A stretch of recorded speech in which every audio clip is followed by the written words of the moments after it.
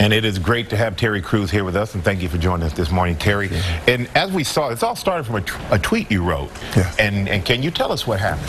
First of all, um, you know, back in February 2016, I was assaulted by Adam Venit, who is the head of the motion picture department at William Morris Endeavor, one of the biggest agencies in the world, period. And uh, what was wild is that my wife and I were at an event for, with Adam Sandler, and uh, you know the, the, thing is he's also Adam Sandler's agent. He's Sylvester Stallone's agent.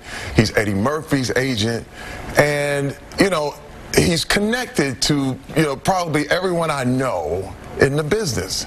And now this is the thing. I did not know this man. So you did not know him before this? I have never had a conversation with him ever.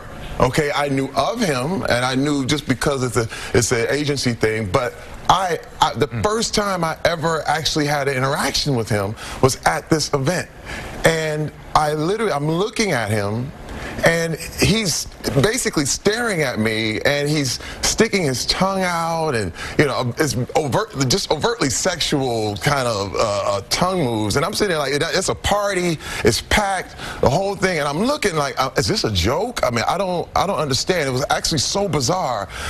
And he keeps coming over to me. He comes over to me. I stick my hand out and he literally takes his hand and puts it and squeezes my genitals and I, i'm jump back like hey hey and, and he's like, and he's still licking his tongue out and all this stuff. And I go, dude, what are you doing?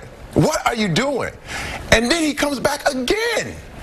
And he just won't stop. And I, I, then I really got forceful, pushed him back. He bumps into all the other party goers, the whole thing, and he starts giggling and laughing. And let me tell you, Mike, I have never felt more emasculated, more objectified, I was horrified. I went over to Adam right then and there, and I'm Adam, man, come get your boy.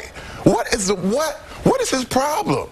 And so, you know what? And he, Adam was looking. Wife, and your wife is with you. My wife is right there. Now, let me tell you, he was acting so weird and so strange that I put myself between uh, him and my wife because I, I with this tongue thing, I was I, I couldn't understand. Let me tell you, it's so bizarre. I wake up every morning wondering, did this really happen?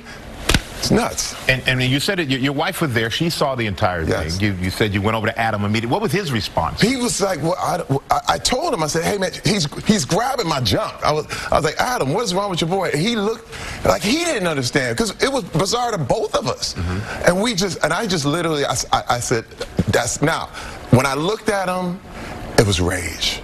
And when I say rage, I, I felt like I could punch a hole in his head. Okay, but this is the deal. My wife told me three years earlier, she said, Terry, you can never handle any situation like this with violence. You are a target. You can be going to be baited and pulled if you react physically. And let me tell you something, I've done it before, but this is the deal when, when I grabbed her hand and I left that party, we were only there for like a half an hour, and I got in the car, I almost ripped the steering wheel off. And she just kept saying, I'm proud of you. I'm proud of you.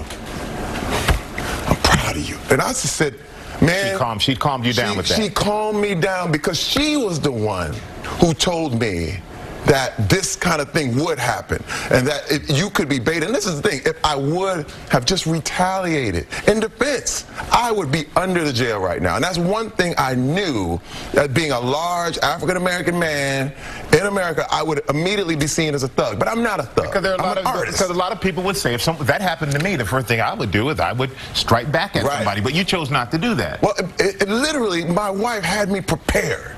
This is so beautiful about it because she had me prepared. She knew something like this could happen. And man, and, and, when it did, she was just right there for me. She's right there with me, and she saw the whole thing. And then, then last week, we, we saw it in the piece, but you filed a police report yes. last week. Yes. So what do you hope comes of this? You know, people need to be held accountable, Mike. You know, this is the deal about Hollywood, and, and it's, a, it's an abuse of power. You know? This is abuse. This guy, again, he's one of the most powerful men in Hollywood, and he looked at me at the end as if, you know, who's going to believe you? So you didn't think anybody would believe you if you came forward? Last year, no. No, actually, I let it go. Actually, I put it in the back of my head, and I understood why women everywhere had to let it go. But let me tell you, when the Weinstein thing started happening, I got PTSD. I was going, oh my God, this exact thing happened to me. I understand why they won't come forward. And I'm gonna tell you, a lot of times people go, well, why didn't you come forward sooner? But this is the thing, when a, when a person of power breaks that boundary and violates that boundary, you're a prisoner of war immediately you're in a camp because you're trying to figure out when is the right time to come out. When did the guard turns their head, when they leave a door open, you're digging tunnels with spoons and you're trying to find a way out and you get out and then you finally find freedom and somebody says, well, it must not be that bad. Uh, you, you should have came out sooner. And you're like, I'm free. I finally got free. And this is the thing that a lot of people just don't understand, and they end up blaming the victim. And I have totally said, I will not be shamed. I will not be shamed. I did nothing wrong. Nothing. And the whole deal is people are like, well, why did you do this? Why did you do that? You know what? Why don't you ask what he's doing? Why is not why isn't Adam Venit sitting here right now explaining his side? Good question. And you and you wrote that you wrote that tweet a few days after Harvey Weinstein's story broke. Exactly. So so you felt empowered by everyone else's stories. I did. That let you step out of the darkness, if you want to say. Let me tell you, I did. I was a keynote speaker at this place called Center for Community Solutions that dealt with relationship violence, sexual assault, and I heard all these stories from all these women who were just who had finally get strength from each other's stories, and they came out, and I said, man, what kind of man would I be to tell my kids if someone touches you where you don't want to be touched? And, and tell someone, tell someone, and then I don't do it.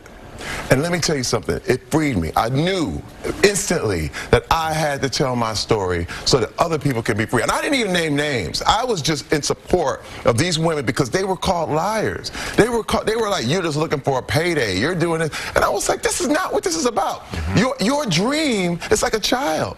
What, what, you're trying to do, your dreams, goals, aspirations is, is, just as valuable as your children. And, and when someone binds up your dream and holds a gun to his head and says it's going to kill it if you don't do this, if you don't stay quiet, if you don't do this, it's, ho- it's a hostage situation. You are dealing with a terrorist. And I have my dream. I've worked so hard for this. Uh, what can I say? It's one of those things. I survived the NFL. I got the entertainment. I'm here and I get assaulted by my own agent. It makes it makes no sense, and it was filed to the core, and it still still shocks me. I'll tell you what. I'm glad you came here to share your story. We hopefully this is a big turning point for you and for a lot of the victims out there. We appreciate it. you, Terry. George. Boy, that was a powerful interview. So much has been unleashed by this Me Too movement.